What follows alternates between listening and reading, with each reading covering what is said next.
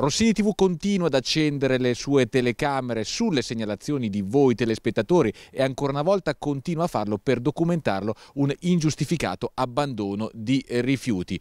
Oggi ci troviamo nelle centralissime via Flacco e via Giusti, all'angolo fra queste due vie in particolare ci troviamo in via Orazio Flacco dove alle mie spalle potete eh, vedere dei bidoni adibiti alla raccolta differenziata, bidoni che però vengono attorniati da tanti rifiuti abbandonati in maniera ingiustificata. C'è di tutto, c'è persino un materasso.